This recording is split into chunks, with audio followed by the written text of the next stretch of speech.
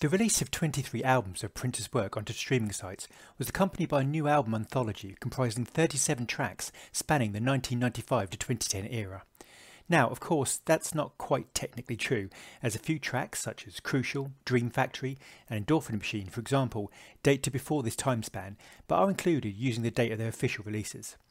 The anthology itself is essentially presented as a taster selection, a bite-sized sample designed for new fans unaware of the great work Prince created during this time, or for those who lost touch with all things Prince in the post-1995 era. It is not really an album as such, as there have been no announced plans for a physical release, but more of a selected playlist. To what extent this anthology achieves its goal of inducing listeners to take a deeper dive into Prince's unparalleled back catalogue is, of course, a personal decision. The anthology does not follow any particular obvious track order with no chronological rule to the tracks. Instrumentals are placed in amongst vocal tracks and live tracks are also slotted into the mix. This may well be a deliberate ploy to assume nothing about the listener and to give a little taste of the many different genres and types of track Prince has to offer, from the funk jams such as Old School Company and Black Sweat, through blistering ballads such as I Hate You, and tearjerkers such as I Love You but I Don't Trust You Anymore, and the underappreciated tracks such as Strays of the World and When I Lay My Hands on You. The inclusion of the 14 minute West from N.E.W.S., The Beautiful You Make My Sunshine, and Empty Room Live certainly give a flavour of the gems that Prince has to offer. However, a number of fans have felt that perhaps this collection, even though it contains 37 songs, still doesn't really do Prince justice.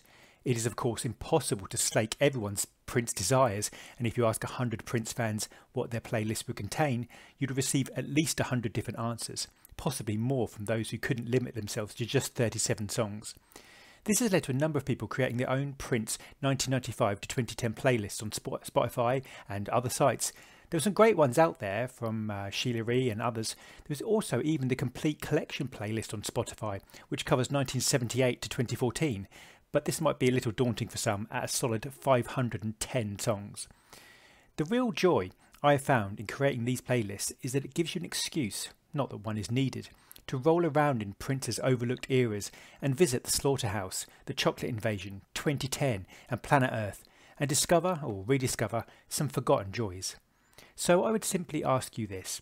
If you were asked to create a playlist of 37 tracks just like the anthology contains, of Prince's work from 1995 to 2010 in an attempt to excite listeners seeking out Prince's work, what would yours contain? Would you theme the collection chronologically, or by types of tracks such as ballads, instrumentals, etc.? Or would you pick the less heard tracks or push the hits and crowd pleasers? Are there certain albums that you feel should get greater prominence? Have you actually made a post 1995 Prince playlist already? As always, I'd love to hear your thoughts below the line. Thank you.